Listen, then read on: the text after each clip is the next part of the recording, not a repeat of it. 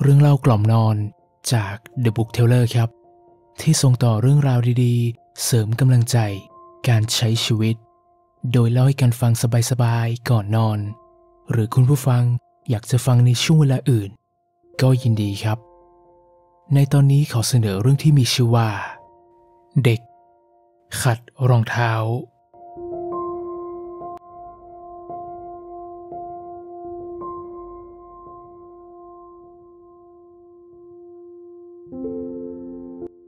15 ปีที่แล้ว ตอนที่ผมลงทุนทำธุรกิจ ผมต้องเดินทางไปดูงานที่เมืองเมืองหนึ่ง หลังจากได้พูดคุยเรื่องธุรกิจเสร็จแล้ว ผมมักไปซื้อของฝากในห้างสรรพสินค้า หลังจากที่ผมได้เดินเลือกซื้อของอยู่หลายร้าน ผมก็เจอของฝากที่ถูกใจมาชิ้นหนึ่ง จากนั้นผมจึงออกจากห้างสรรพสินค้าแห่งนี้ไป แล้วจู่ๆสายตาของผมก็พลันเหลือบไปเห็นเด็กชายคนหนึ่ง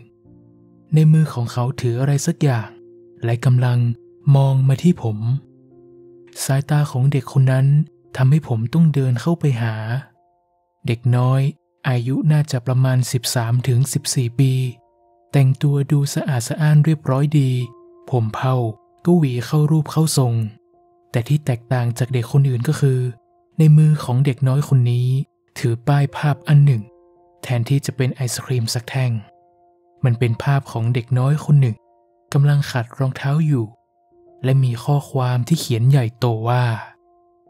ผมอยากได้อุปกรณ์ขัดรองเท้า ในเมื่อยังพอมีเวลาอยู่ ผมจึงได้เดินเข้าไปคุยกับเด็กชายคนนี้ แล้วถามเขาไปว่า นี่หนู อุปกรณ์ขัดรองเท้าราคาเท่าไหร่นะ130 เหรียญครับ เด็กชาย มองมาด้วยแววตาที่เต็มไปด้วยความหวัง เออ ฉันว่ามันแพงไปนะ พูดเสร็จผมก็สายหน้า ไม่เลยนะครับ ผมสอบถามร้านค้าส่งในตลาดสี่รอบแล้ว ไม่มีร้านไหนเลยจะขายได้ถูกกว่านี้แล้วล่ะครับ ผมเห็นความตั้งใจของเด็กคนนี้ และพิจารณาเลยว่า เด็กคนนี้ไม่น่าจะหลอกผมเป็นแน่ ผมจึงถามเขาต่อไปว่า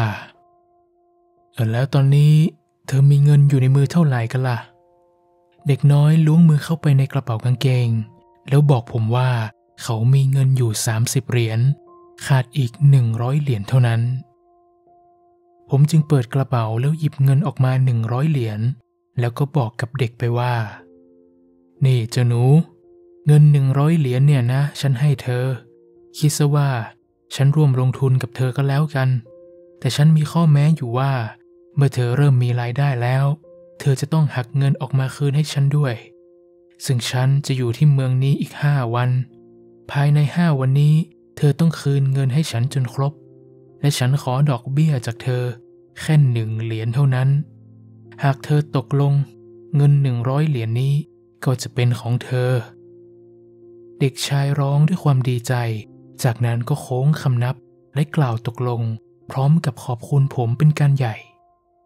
มื่อตกลงกันได้ เด็กชายจึงเล่าให้ผมฟังว่า เขาเรียนอยู่ชั้นประถมหกแต่ไปโรงเรียนเพียงแค่อาทิตย์ละสามวัน ส่วนวันที่เหลือจะต้องช่วยแม่เลี้ยงวัวและทำงานในนา แต่การเรียนของเขานั้นก็ไม่เคยตกจากอันดับที่สามเลย แถมยังอวดว่าตนเองนั้นเก่งที่สุดอีกด้วย ผมถามเขาไปว่าทำไมต้องซื้ออุปกรณ์ขัดรองเท้า เด็กชายจึงบอกผมว่า บ้านผมยากจนนะครับ ช่วงนี้เป็นช่วงปิดเทอม ผมก็เลยขอแม่เข้ามาอยู่ในตลาด เพื่อหาเงินให้แม่ และเป็นค่าเล่าเรียนของผมเองเมื่อได้ฟังแบบนี้ ผมก็มองเขาด้วยสายตาสุดทึ่งในความคิด จากนั้นผมจึงเดินเป็นเพื่อนเด็กคนนี้ไปซื้ออุปกรณ์ขัดรองเท้า เด็กชายแบกกล่องอุปกรณ์ขัดรองเท้าออกมาจากร้านค้าส่ง และเดินตรงไปยังหน้าห้างที่เขายืนอยู่เมื่อครู่นี้ ผมเรียกเด็กคนนี้พร้อมกับบอกว่า นี่เจ้าหนู ในเมื่อตอนนี้เราสองคนได้ทำธุรกิจร่วมกันแล้ว ฉันอยากจะแนะนำเธอว่า เธอไม่ควรที่จะยืนอยู่หน้าห้างนี้นะ เพราะว่าในห้างเนี่ยมีบริการขัดรองเท้าฟรี และคนที่มาเดินห้างเนี่ยเขาก็รู้กันอยู่แล้วว่ามีบริการนี้อยู่ แบบนี้ ก็ไม่มีใครมาใช้บริการของเราแน่ๆ ถ้าเป็นแบบนั้น ผมไปตั้งร้านแถวหน้าโรงแรมดีไหมครับ อืมเป็นความคิดที่ไม่เลวนะ เพราะแถวนั้นมีนักท่องเที่ยวและนักธุรกิจมาพักอยู่เยอะเลย เมื่อพวกเขาเห็นเธอให้บริการรับขัดรองเท้า พวกเขาอาจจะสนใจก็เป็นได้ เธอนี่รู้จักเลือกทำเลในการทำธุรกิจเหมือนกันนะ ผมพูดพร้อมกับยกนิ้วให้กับเด็กน้อย เด็กน้อยคนนี้จึงเดินเข้าไปใกล้บริเวณโรงแรม แล้ววางเก้าอี้พลาสติก และคว่ำกล่องขัดรองเท้าไว้กับพื้น เมื่อจัดสถานที่เป็นที่เรียบร้อยแล้ว เด็กน้อยก็มองไปรอบๆ จากนั้นก็มองมายังผม เด็กน้อยพูดขึ้นว่าทำไมคุณไม่ให้ผมจ่ายดอกเบี้ยให้คุณก่อนครับ เพราะคุณก็รู้ดีนะ ว่าผมให้บริการดีขนาดไหน เมื่อได้ยินแบบนี้ ผมก็หัวเราะออกมา เด็กน้อยจะขัดรองเท้า เพื่อแลกกับดอกเบี้ยหนึ่งเหรียญ ผมรู้สึกทึ่งกับความคิดของเด็กน้อยคนนี้เป็นครั้งที่สอง ดังนั้นผมจึงนั่งลงที่เก้าอี้ พร้อมกับยกเท้าขึ้นเหยียบกล่อง เพื่อให้เด็กน้อยขัดรองเท้า เวลาผ่านไปไม่กี่นาที เด็กน้อยก็ขัดรองเท้าให้ผมเสร็จสิ้น รองเท้าของผมนั้น มันเงาตามคำอวดจริง ๆ ผมรู้สึกพึงพอใจเป็นอย่างยิ่ง ผมจึงหยิบกุญแจรูปหมีออกมา แล้วเขียนคำว่า เก่งมาก ส่งให้เด็กน้อย เด็กน้อยรับเอาไว้ด้วยความดีใจ และสักครู่ก็มีรถนักท่องเที่ยวมาจอดที่หน้าโรงแรม เด็กน้อยถือกล่องอุปกรณ์และเก้าอี้วิ่งเข้าไปหานักท่องเที่ยว ให้บริการขัดรองเท้าครับ ผมสามารถขัดรองเท้าของคุณให้มันวาวเหมือนกระจกได้เลยนะครับ ดูท่าทางเด็กน้อยจะมีความสุข กับงานนี้จริง ๆ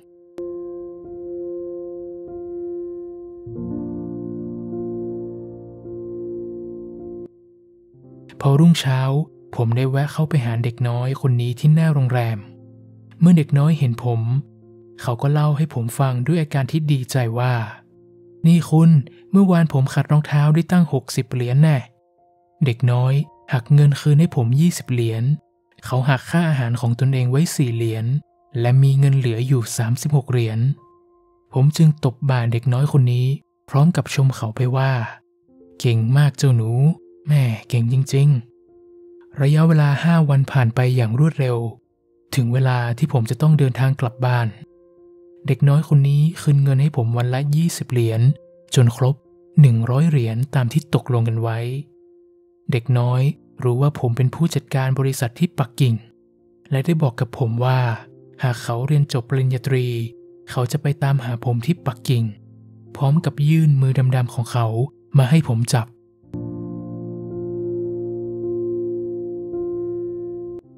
วันเวลาผ่านไปหลายปี ผมได้ทำงานอยู่ที่บริษัทในปักกิ่ง จนได้ออกมาเปิดบริษัทเทรดดิ้งของตัวเอง วันนี้ผมวุ่นวายแต่เช้า เนื่องจากบริษัทนั้นประสบปัญหาขาดทุนเยอะพอสมควร ผมไปขอกู้ยืมเงินจากเพื่อนๆ และธนาคารหลายแห่ง แต่ไม่มีใครสามารถที่จะช่วยผมได้เลย หลังจากที่ผมวางสายโทรศัพท์ลง เลขาก็เข้ามารายงานกับผมว่า กลางวันนี้มีนักธุรกิจหนุ่มท่านหนึ่ง จะเข้ามาพบและรับประทานอาหารกลางวันด้วย ผมมัวแต่ยุ่งๆกับบัญชีรายรับรายจ่าย เพื่อหาทางแก้ไขมัน โดยไม่ได้มองหรือถามเลขาว่า นักธุรกิจคนนี้เป็นใคร จนเลขาได้ยื่นพวงกุญแจอันหนึ่ง มาวางที่โต๊ะของผม ผมมองกุญแจอันนั้นด้วยความตกตะลึง ซึ่งที่กุญแจมีคำที่บอกว่า ผมเก่งมาก อยู่ตรงรูปหมี ผมนึกขึ้นได้ว่า ได้เอากุญแจอันนี้ให้กับเด็กขัดรองเท้าเมื่อ 15 ปีก่อน และได้เขียนอักษรบนหมีว่า เก่งมาก ซึ่งเมื่อเวลาผ่านไป เด็กน้อยคนนั้นคงจะเขียนอักษรเพิ่มเป็น ผมเก่งมาก เมื่อถึงเวลานัด ผมจึงไปที่ห้องอาหารในโรงแรมแห่งหนึ่ง ผมเดินเข้าไปยังโต๊ะที่จองไว้ และได้เห็นเด็กหนุ่มคนหนึ่ง ใส่สูทเขายืนขึ้น พร้อมกับโค้งคำนับ และยิ้มให้กับผม ในรอยยิ้มและสายตาของชายหนุ่ม เต็มไปด้วยความมุ่งมั่นทำให้ผมนึกถึงภาพของเด็กน้อยเมื่อ 15 ปีก่อน ผมและเด็กหนุ่มรับประทานอาหารร่วมกัน พูดคุยกันอย่างสนุกสนานและถูกคอ เมื่อรับประทานอาหารกันเสร็จเรียบร้อย เด็กหนุ่มคนนี้ก็ยื่นเช็คให้กับผม ระบุจำนวนเงินถึง5ล้านเหรียญ พร้อมกับพูดว่า ผมอยากจะร่วมลงทุนกับคุณนะครับ และในเวลา5ปี คุณต้องคืนทุนให้กับผมด้วย โอ้ยห้าล้านเหรียญเลยเหรอผมพูดออกมาด้วยความตกใจ ซึ่งจำนวนเงินจำนวนนี้ สามารถแก้ปัญหาธุรกิจของผมได้อย่างสบายเลย เด็กหนุ่มจึงเล่าว่า เมื่อ 15 ปีก่อนนั้น ผมเคยสอนให้เขามีชีวิตอยู่รอด นับจากวันนั้น เขาจึงได้มุ่งมั่นที่จะสร้างฐานะ เขาได้แต่เก็บเงินออม ลงทุนจนถึงตอนนี้ มีบริษัทเป็นของตนเอง และสำหรับเงิน 5 ล้านเหรียญที่เขาให้กับผมนี้ เขาจะขอดอกเบี้ยประมาณหนึ่ง ผมจึงถามเด็กหนุ่มว่าจำนวนเงินดอกเบี้ยที่ว่านั้น เป็นจำนวนเงินเท่าไหร่ เด็กหนุ่มจึงตอบผมว่า ผมขอดอกเบี้ยหนึ่งเหรียญละกันครับ เมื่อผมได้ฟังก็รู้สึกซาบซึ้ง และดีใจเป็นอย่างมาก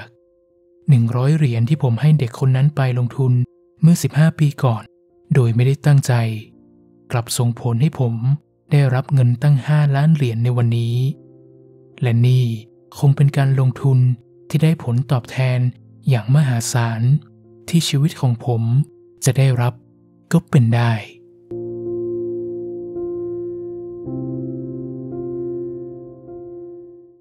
ขอบคุณที่ติดตามเรื่องราวดีๆ จาก The Book Teller นะครับ ผมเชื่อว่าเรื่องราวดีๆ จะสามารถพัฒนาให้ตัวของเรา เป็นในแบบที่ดีขึ้นได้ ขอให้คุณนั้นมีกำลังใจ มีพลังใจ ในการใช้ชีวิตที่ดีขึ้นนะครับ